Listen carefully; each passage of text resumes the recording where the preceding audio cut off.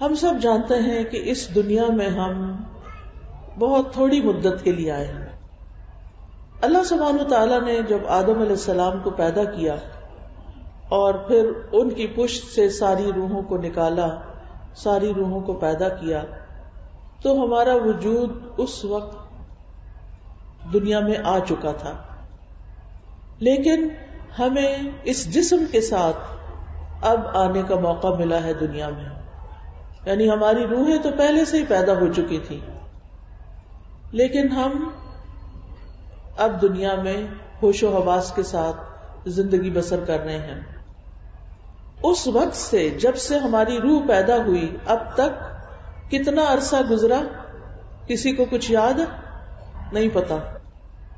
फिर आप देखिए कि हम चंद साल के लिए इस दुनिया में हैं, इसके बाद फिर हम दुनिया से चले जाएँगे, यानी फौत हो जाएँगे।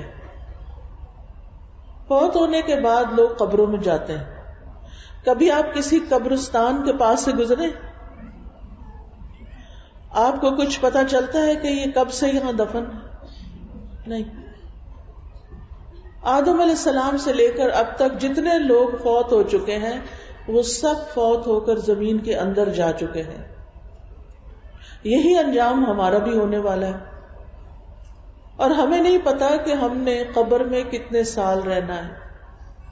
हो सकता है हज़ार साल हो हो सकता है दो हज़ार साल हो, अल्लाह ही बेहतर जानता है। फिर दोबारा हम क्यामत के दिन जी उठाए जाएँगे। क्यामत का एक दिन कितना लंबा है, किसी को पता है? पचास हज़ार साल। फिर उसके बाद जन्नत है या जहन्नम है? जन्नत की ज़िंदगी कब तक है? हमेशा के लिए। खालिदी नफीहा अबदा। अब आप देखिए कि वो ज़िंदगी जो जन्नत की है, हमेशा की, वो लंबी है या ये दुनिया की ज़िंदगी लंबी है?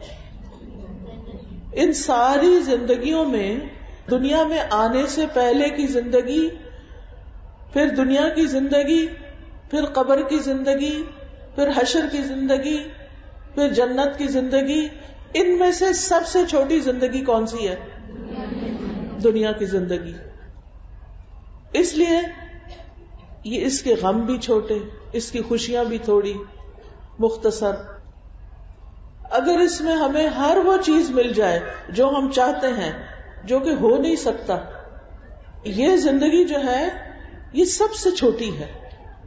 इसमें अगर आपको कोई दुख है, परेशानी है, तकलीफ़ है तो वो भी बहुत थोड़े अरसे के लिए, क्योंकि इस दुनिया ने खत्म हो जाना है। अगर खुशी है, उसने भी खत्म हो जाना है। अगर माल और बेटे मिले हुए हैं, तब भी ज़िंदगी ने खत्म हो जाना है। नहीं मिले हुए, तब भी खत्म हो जाना है। आपके पास सोने चांदी के ढेर है यहाँ फिर भी ज़िंदगी ने खत्म हो जाना है। आपके पास मोहल्लात हैं, फिर भी खत्म हो जाना है। इस दुनिया की हर चीज़ आरजी है। ये ज़िंदगी और ये दुनिया हमें किस लिए मिली है? ताकि हम इसमें अपनी आखिरत के लिए कुछ कमा लें, अपनी आखिरत के लिए कुछ तैयार कर लें। और अगर हम इस दुनिया में अपना वक्त जाया करके चले गए और हमने अच्छे काम नहीं किए और फजूल कामों में पड़े रहे, सिर्फ़ खाने पीने के शौक, सिर्फ़ सैर तफरी का शौक, सिर्फ़ गप शप लगाने का, सिर्फ़ दोस्तों के पास बैठने का, कभी इसके घर चले गए, कभी उस शादी पे चले गए, कभी कहीं चले गए तो इस तरह अगर ज़िंदगी गुजारी बगैर किसी मकसद के तो फिर क्या होगा? फिर आगे की ज़िंदगी मुश्किल होगी। अगर अल्लाह की नाफरमानी के काम किए, फिर तो पकड़ होगी।